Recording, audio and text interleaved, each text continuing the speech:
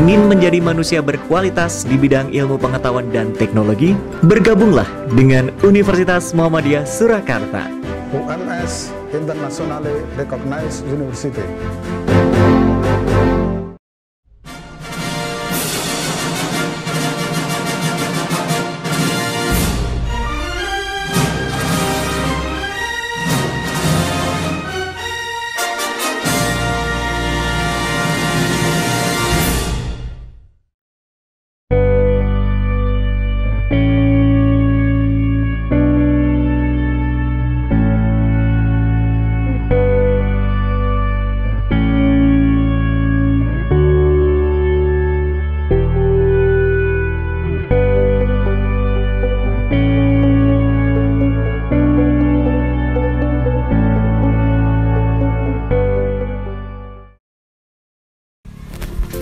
Selamat siang, kali ini kita sedang berada di Kampung Iklim, tepatnya di Ngemplasuta RW 37 Mojosongo, Surakarta.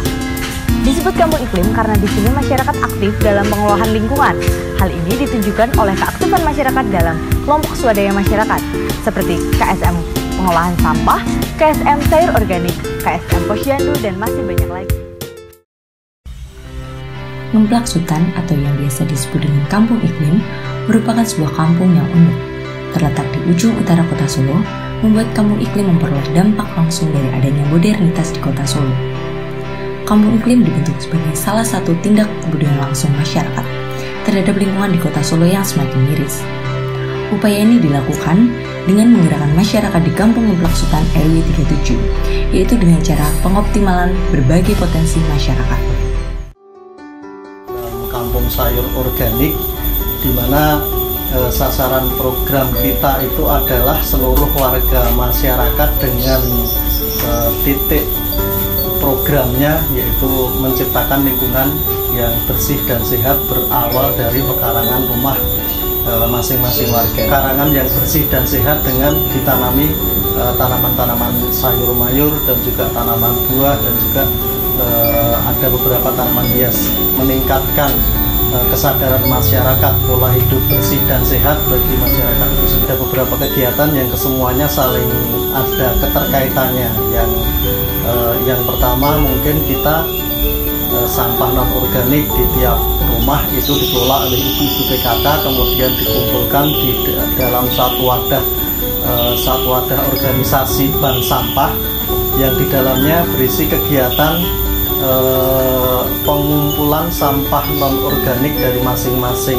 warga dan hasilnya disatukan menjadi satu pengepul kemudian eh, sampah yang terkumpul dari seluruh warga tersebut dijual dan diuangkan. Kemudian yang sifatnya organik jadi sampah kita yang non organik itu dikelola itu di PKK sementara yang sifatnya organik itu kita kelola e, menjadi pupuk kompos. Jadi kita dari sampah organiknya itu kita kumpulkan menjadi satu tempat kemudian kita cacah e, dan dari cacahan sampah organiknya itu kita buat menjadi e, pupuk kompos yang fungsi dari kompos itu sendiri kita manfaatkan untuk eh, mensuplai kebutuhan pupuk yang kita butuhkan di program Kampung Sayur Organik. Senam masal yang fungsinya untuk eh, olahraga bersama dan meningkatkan eh, kesehatan masyarakat itu sendiri. Hampir sekitar 80 sampai 90 persen warga masyarakat itu mengikuti program Kampung Sayur Organik maupun program Kampung Iklim yang ada di RW 37 ini.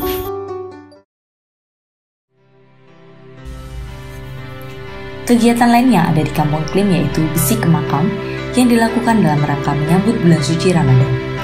Masyarakat kampung dan sekitarnya bergotong royong membersihkan makam yang ada di sekitar kampung. Di Kampung Iklim, masyarakat memiliki benih dan bibit masing-masing ditanam di pekarangan rumah mereka.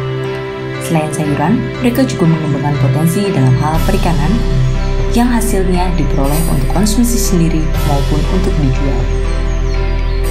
Tujuan program kampung sayuran yaitu adalah meningkatkan taraf perekonomian warga serta mewujudkan desa mandiri pangan.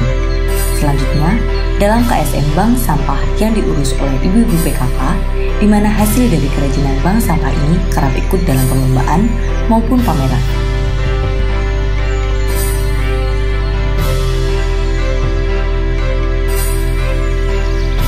Sedangkan kegiatan swadaya masyarakat yang dilakukan oleh bapak-bapak dilakukan pada minggu terakhir setiap bulannya, merupakan pengolahan sampah organik yang hasilnya untuk pupuk kompos bagi sayuran yang dimiliki oleh masyarakat kampung iklim. Kegiatan ini dilakukan secara gotong royong untuk mencacah dan menghancurkan sampah organik menjadi ukuran yang sangat kecil hingga mudah untuk terurai.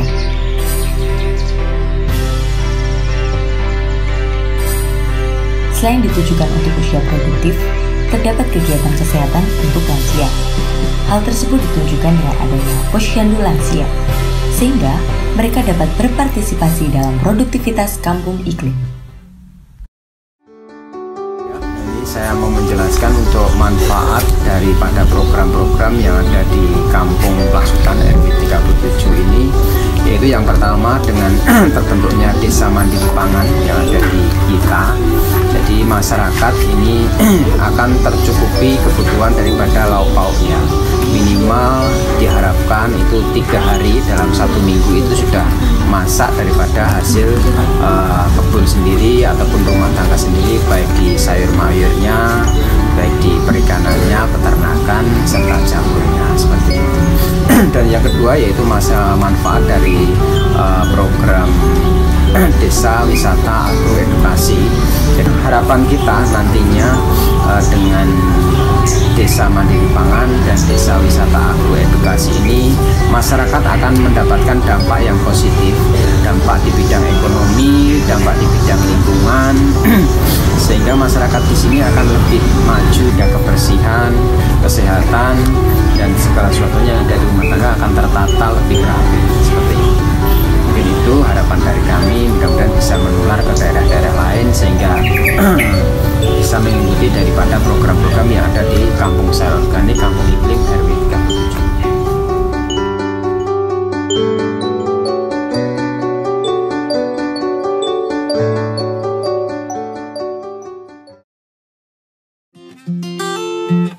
Demikianlah ulasan mengenai kampung iklim.